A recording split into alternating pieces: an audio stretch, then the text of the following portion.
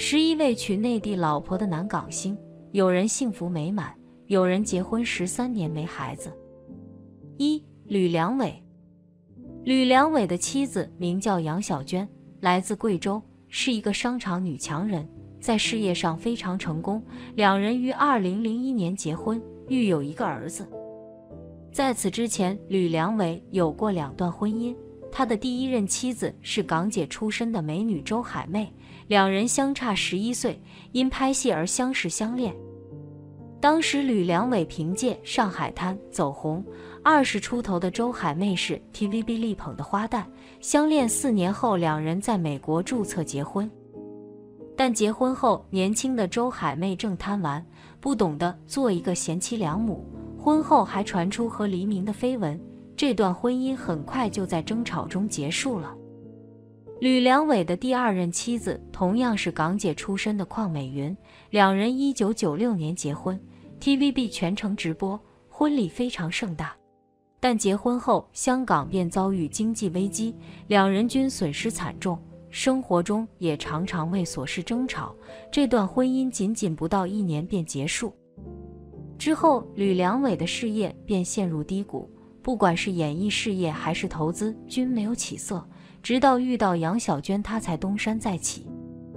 人脉丰富又有商业头脑的杨小娟帮助吕良伟投资理财，夫妻俩的生意越做越大，如今旗下拥有过亿资产。二陈冠希，陈冠希这个名字背后跟着无数绯闻。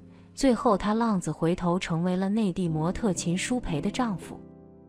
作为富二代的陈冠希，刚刚入行就备受关注，痞帅的长相加上爱玩的个性，更是吸引无数女星。除了后来曝光的张柏芝、钟欣桐之外，陈冠希还和应采儿、舒淇等传出过绯闻。二零零八年，因为照片门事件，陈冠希宣布退出娱乐圈。他当时的女友名叫杨永晴，同样是一名富二代。她是英皇娱乐老板杨受成的侄女。当时陈冠希可谓千夫所指，但杨永晴一直坚定地站在他身边，两人的感情维持了很多年。可惜最后未能走到一起。二零一六年，陈冠希和秦舒培传出绯闻，次年两人的女儿便出生了。如今，陈冠希和妻女定居在美国，自己的时尚品牌经营得非常成功，一家三口的生活也非常幸福。双方为了家庭都牺牲了一部分事业，而且两人都再也没有传出过其他绯闻。三汤镇业，汤镇业曾经和刘德华、梁朝伟并称 TVB 五虎将，但他的事业因为爱情全都毁了。一九八三年，汤镇业和翁美玲恋爱，当时两人恋情备受关注，TVB 经常安排他们以情侣档的形式合作。然而，两人在恋爱两年后，因为种种矛盾开始冷战，后来翁美玲便寻短离世了。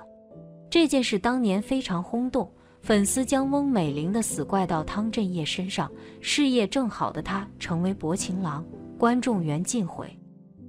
后来虽然澄清翁美玲之死和汤镇业毫无关系，但他已经错过事业发展最好的阶段，名气和其他五虎将拉开差距，始终不温不火。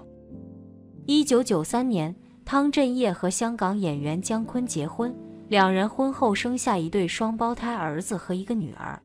这段婚姻维持了八年，最终分手。汤镇业也将事业重心转向内地。二零零八年。汤镇业和相差二十五岁的内地主持人文静结婚，婚后两人生下一对女儿，至今幸福恩爱。如今六十五岁的汤镇业依旧活跃在内地影视剧中，但角色大多是配角，毕竟有五个孩子，还需要继续奋斗。四张卫健，张卫健的老婆叫张倩，是一位内地演员。也是电视剧《小宝与康熙》中的穆建平，两人相差九岁，于一九九七年相识，两年后再次合作电视剧才相恋。二零零九年，经过十年的爱情长跑，两个人终于走入了婚姻。一九九六年，张卫健主演 TVB 版《西游记》，这部剧收视爆棚，让他重回巅峰。但拍摄续集时，他提出涨薪要求，不仅被 TVB 拒绝，甚至遭到封杀。张卫健只好到内地发展，也是在那时候遇见了张倩。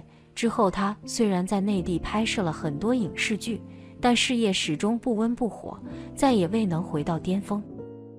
张倩始终在他身边陪伴。并逐渐放弃事业，回归家庭。两人婚后非常恩爱，唯一的遗憾就是没有孩子。五林峰，林峰原本是福建厦门人，两岁时移居到香港。在他长大过程中，一直往返于香港和内地求学，家人在内地也有丰厚的产业。他就是传说中不好好演戏就要回家继承家业的富二代。但林峰也经历过一段时间的无名时期，二十二岁搭档古天乐出演《寻秦记》才走红，一步步成为 TVB 力捧的男主，并拿下视帝大奖。长相帅气，事业有成，家世好的林峰一直都是钻石王老五，但他偏偏是个恋爱脑。第一段曝光的恋情是内地演员潘双双，两人因拍戏相识，在一起仅仅一年时间。对方却凭借恋情成功上位，做了不少宣传。林峰第二任公开的女友是香港女星吴千语，两人在一起整整五年时间，频频同框秀恩爱，但最终没有修成正果。而他如今的妻子张馨月也是家人通过相亲安排的。张馨月是一名模特，外貌姣好，性格温柔，背景干净。他和林峰恋爱一年后便走入婚姻的殿堂，婚后两人曾登上真人秀同框秀恩爱，还生下了一个可爱的女儿，生活非常幸福。六罗嘉良，罗嘉良是 TVB 第一位视帝，并且三次获得视帝大奖。在他当红的时候，影视歌多期发展，风头一时无两。罗嘉良的第一任妻子名叫方敏仪，一个长相平平的圈外人。据说两人是彼此的初恋。两人相识于微时，当时的罗嘉良还是学生，方敏仪陪伴他走入影视圈，从龙套一步步变成大明星。罗嘉良走红后，曾经多次传出绯闻，但两人还是选择在一九九八年结婚，婚后生下一个儿子。但婚姻并没有挽救这段感情。婚后，罗嘉良屡次被传出轨，尤其是他将事业重心转移到内地后，夫妻俩聚少离多，感情越来越淡。二零零八年，罗嘉良和方敏仪宣布离婚，他将儿子和财产全都留给了妻子，自己只身到内地打拼。当时离婚原因说是感情不和。但仅仅半年后，罗嘉良便和内地女演员苏妍结婚，两人相差十二岁，因合作电视剧而相识相恋。婚后，罗嘉良和苏妍恩爱有加，并生下一个女儿。但他的事业和口碑大受影响，再也没有回到巅峰时期。如今，他只能在内地一些影视剧中出演配角。七，温兆伦。温兆伦是很多人的童年男神。他的太太是上海演员赵婷，两人二零一三年结婚。不知道他是不是花花公子的最终归宿？温兆伦的情史可谓相当丰富。他二十二岁便走红，之后一路顺风顺水，影视歌全面发展，拥有众多粉丝。他曾有过多段绯闻恋情，但都无疾而终。二零零二年。温兆伦终于走入婚姻的殿堂，将之前的助手潘燕妮娶进门。只可惜这段婚姻未能维持太久。赵婷已经是温兆伦第三任妻子，两人婚后育有一个女儿，从未传出绯闻。毕竟温兆伦已经五十八岁，浪子总该回头了。八吴启华，吴启华的前妻名叫石洋子。是一位比他小二十一岁的内地演员，两人于二零零七年结婚，婚后生下一名女儿，但这段婚姻在二零一四年已经结束。据说吴启华用财产换回了女儿的抚养权。八十年代初就在 TVB 走红的吴启华，曾经也是一名浪子，年轻时被称为“师奶杀手”，有过多段情史。一九九一年，吴启华在泰国拍戏时认识了富家女 Veronica，两人结婚后，他成为了入赘女婿。这段婚姻维持了五年，期间他只拍摄了一部《九品芝麻官》。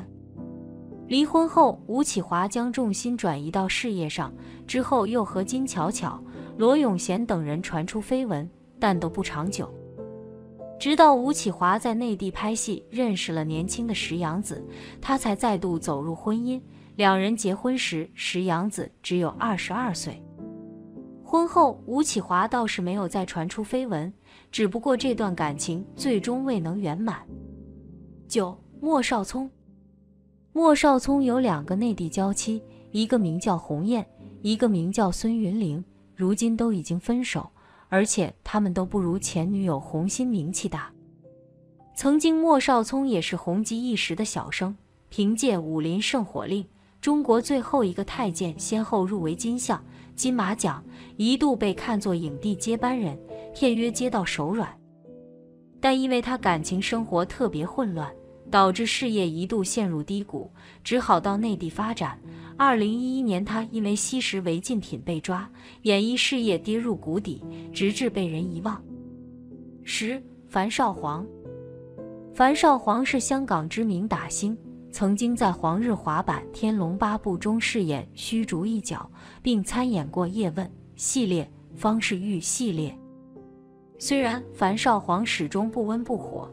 但他的长相很有辨识度，出身功夫世家的他有多年的武术功底，一直都是功夫片的御用配角。早在1995年，他便和圈外人陈少霞结婚，并育有一子一女。两人在2008年左右离婚。后来，樊少皇娶了内地演员贾小晨，两人相差十岁，在2012年传出恋情。婚后，两人生下两个女儿。小女儿还不到两岁，两个女儿都继承了父母颜值的优点，长相非常可爱。婚后，贾小晨并没有做全职妈妈，一直活跃在影视圈。樊少皇也常常出现在影视剧中，两人从未传出过负面绯闻。十一，陈浩民。说起陈浩民，相信大家都非常熟悉。陈浩民不仅是一名歌手。更是一名非常优秀的演员。陈浩民因为饰演《天龙八部》中的段誉一角而成名。二零一一年同女友蒋丽莎结婚，婚后蒋丽莎为老公陈浩民连生四个孩子。但是结婚多年，一家人都是租房。近几年因为疫情原因，陈浩民并没有接到影视剧本，一家人的开销都靠老婆蒋丽莎一个人支撑。陈浩民昔日的风光早已不在。